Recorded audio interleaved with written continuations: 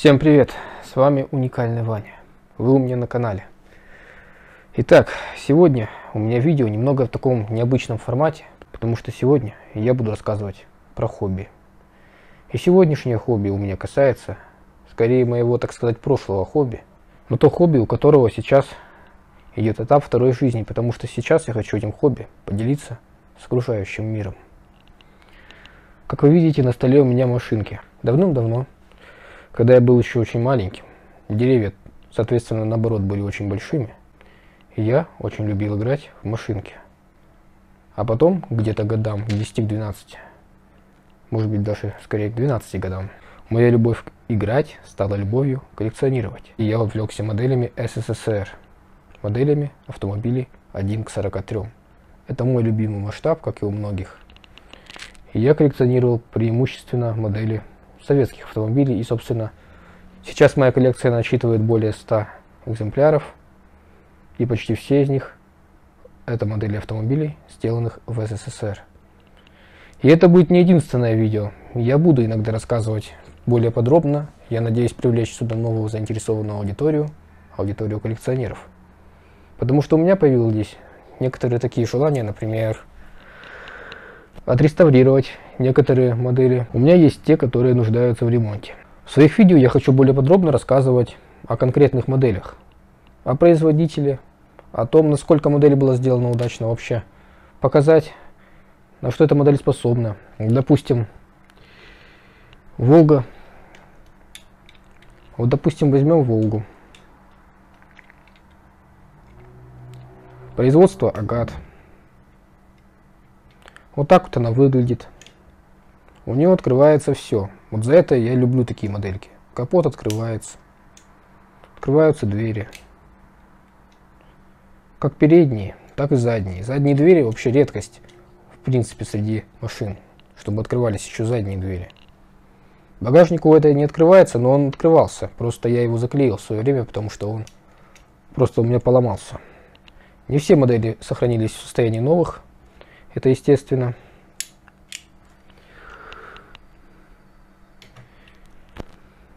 Или, допустим, взять ГАЗ-53. Вот в таком у меня он виде. Компаньон фирма. Сделан он из пластика, а не из металла. Поэтому очень легкий в массе. Ну, то есть, вы поняли. Давайте сейчас я покажу вам более подробно всю свою коллекцию автомобилей, модели автомобилей. Особо внимательные зрители замечали, что у меня есть в шкафу что-то очень похожее на автомобили. Так оно и есть. Давайте посмотрим. Можете пока сосчитать, сколько здесь. Ну, хотя бы примерно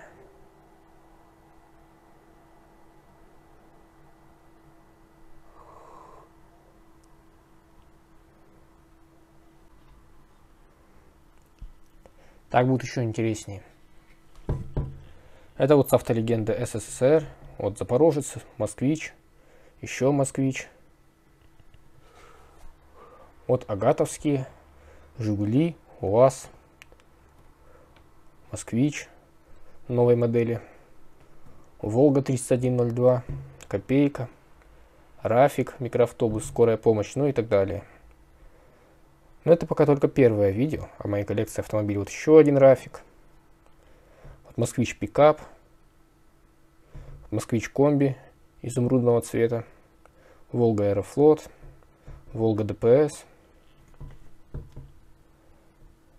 Но это, как я уже сказал, автолегенды СССР. Есть такая серия, продается журнал и машинка. Журналы на сегодняшний день я все увез на дачу. А машинки оставил себе.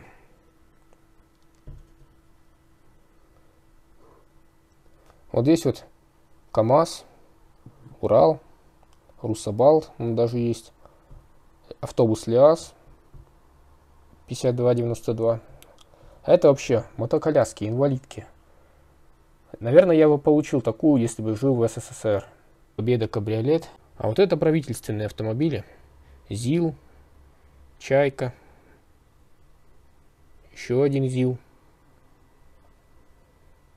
Еще одна чайка. Но уже новая. 14 Два УАЗика. Военный и ГАИ. Трактор такой вот Белорус. Беларусь. ЗИЛ-130, ЗИЛ-131, Урал. 4320. Но вот это Hyundai Tucson. Это уже не СССР. Теперь внимательнее посмотрим на самую верхнюю полку. Восьмерка, девятка. Вот все автолегенды тоже шестерка легендарная. Ну, вы все ее знаете, я думаю. Как и вот эти. Это вот Москвич. Универсаловский, 427. Это ЗИЛ. Такой вот ручная работа, двухкабинный. Очень интересный экземплярчик. Приобретен в свое время в Москве. Парусник это так, за компанию. Отодвигаем корабль в сторону. Автобус ПАС. Почта России. Нет, это не подарок от Почты России. Это было куплено на Почте России. Это самый последний купленный мною. А вот это очень интересные москвичи, потому что они выкуплены из частной коллекции. И это автомобили выпуска СССР. В свое время они стоили 370 рублей, 350. 350 в общем. А сейчас такие продают уже за 3000. Цены вон как подросли. Коллекционировать стало дорого. Компаньон автомодель. КАВС автобус. Те, кто родился в 80-х, 70-х, 60-х, я думаю, они помнят эти автобусы очень хорошо. На маршрутках. На маршрутках конца 90-х, начала нулевых. Я их помню очень плохо. Но я помню, что они были в Красноярске. ГАЗ-53, рефрижератор. Он еще ГАЗ-53 мебель, фургон. ГАЗ-53 молоко, цистерна. Вот такая полиция Детройда, это тоже, естественно, не СССР. Такая серия тоже полиция разных стран. Взял одну такую на пробу. ГАЗ-66, производство АГАЗ. Военная такая цистерна. Но это все так, игрушка из каких-то сосательных леденцов. Это не модель даже. А, ну вот и Нива с прицепом. Еще раз. Экскурсия по моей коллекции виртуальная. Все обоим взглядом. Но это еще не все. Продолжение следует. К сожалению, у меня не хватает полок для хранения моделек. Я бы хотел исправить это недоразумение. Сейчас я открываю ящик и вижу вот это. Я же сказал, это не вся коллекция, вот еще есть. Они не хранятся в коробках, и для них не хватило места на полке. Они просто стоят себе здесь, как кладбище старых автомобилей заброшенных. Но на самом деле они в неплохом состоянии, по крайней мере, большинство из них. Смотрим. Много автолегенд СССР, много агатовских. Вот, например, такой вот москвич пикап. Открываем капот.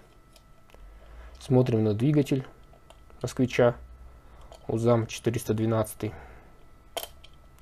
Закрываем капот. Открываем дверь. Буквально прогуляемся по салону автомобиля. Что в салоне? Сиденье, рулевое колесо. Все как надо. И вот такое днище. Днище сделано довольно примитивно, скажут некоторые. Сделано в СССР? Нет, на самом деле это сделано в России. Просто такая штамповка. Ну вот могу показать еще, например, двушка пожарная. Вот такая. Жизненные коски на кузове, понятно. Скол краски. И внутрь я зачем-то затолкал в детстве шашку. Обратно ее не вытолкать. Открываем багажник. Смотрим. Интересно? Значит, смотрим. Закрываем багажник.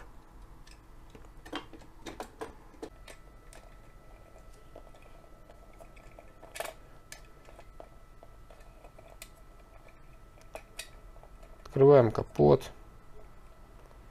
Вот двигатель. Также закрываем капот. Дверки не открываются, поэтому по салону только вот так вот мы виртуально пройдемся. И вот такое днище.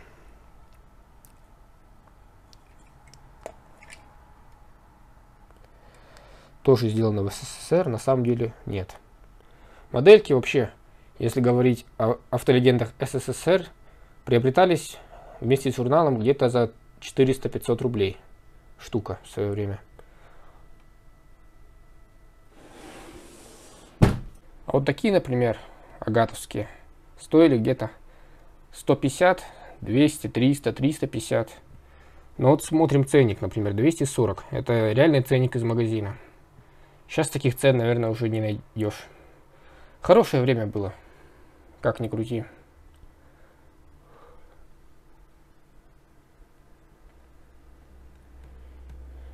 Думаю, на этом я закончу свой первый краткий обзор коллекции.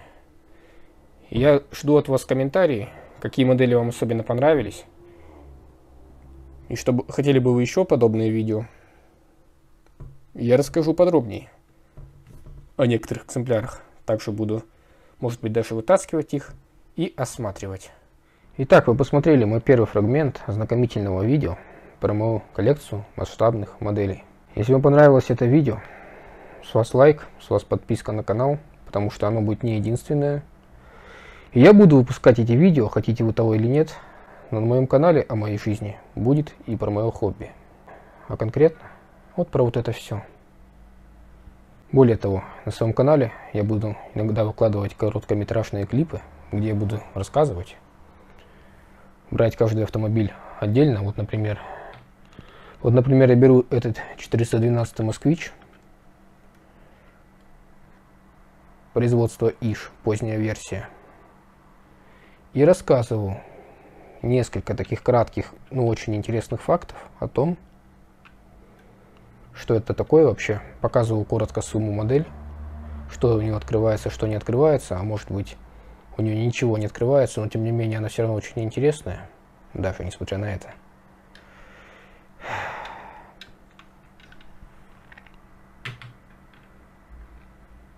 И это позволит моему хобби, так сказать, еще раз обрести вторую жизнь. Долгое время эти модельки стояли в шкафу и пылились без дела. У меня было какой-то определенный момент, где-то годам к 17-18, я понял для себя, что я больше не занимаюсь этим, как-то уже поступил в университет, появились другие увлечения, и как-то коллекционирование ушло в прошлое. Но когда я открыл свой канал, я понял, эту тему надо двигать. Я буду ее двигать. С вами был уникальный Ваня, а вы были у меня на канале. Сегодня была моя рубрика «Хобби». Я рассказывал о своих масштабных моделях.